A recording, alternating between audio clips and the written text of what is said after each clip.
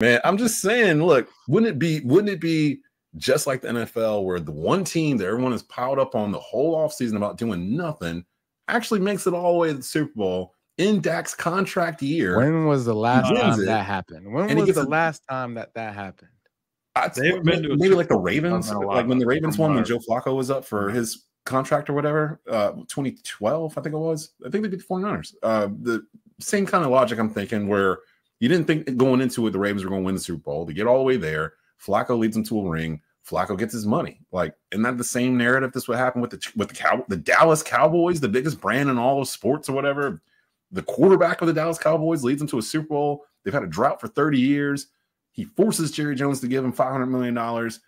And then they're in purgatory for the next 10 years after that.